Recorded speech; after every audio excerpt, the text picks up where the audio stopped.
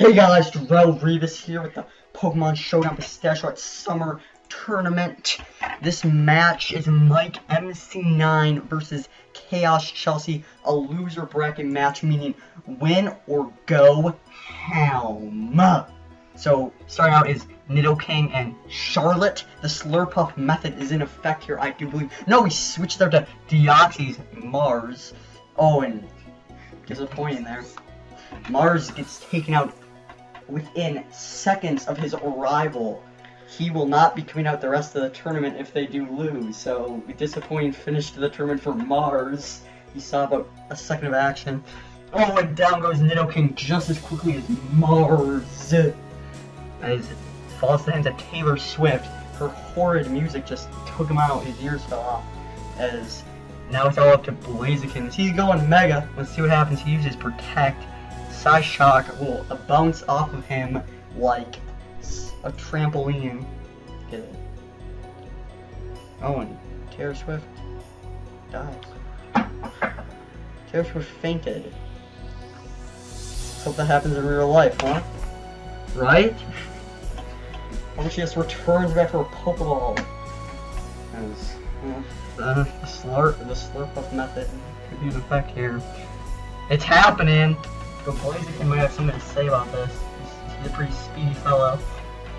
I don't know if he can outrun a little ball of cupcake. Yep, down it goes. Charlotte will faint. Oh, and out comes Nemo. We remember from the last battle, Nemo is can be dangerous in the right hands. He's gonna go Mega Probs. Water versus fire. Who will win? That's the question. Oh, we go. Oh, we all knew it was coming. Letty Butt and the sash will leave it with one health point. Oh no, a dragon dance will be taken out.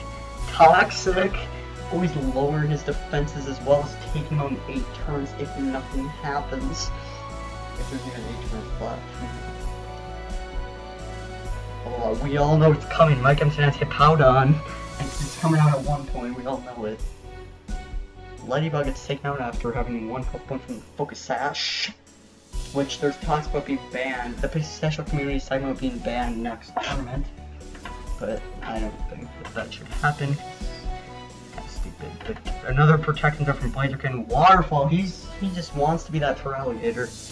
As the Feraligatr, speaking of which, has yet to be seen after taking out five Pokemon after the last battle, as Nemo will go down to Toxic after taking out a Pokemon. So, let's see, who do they send out next? Each man will have to, or woman, because Cash is a girl. Ooh, cooties. That will send out. And out comes Davy up against Feraligatr. So, we all saw last time, moving over Oh, whoa, this is a new strategy for Feraligatr, testing the waters, literally, because he's a water type. Um, so let's see what happens from this. Oh, he's using his Dragon Dance, and oh, oh here it comes! Oh, wait, what? Okay. I was going for the water. Down goes Davy. Davy's down. Davy down. Trubbish, a bag of garbage versus a full-size alligator. Toughest test yet for this full-grown alligator.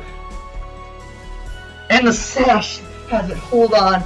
Oh, but can't take out Feraligatr. What's gonna happen here?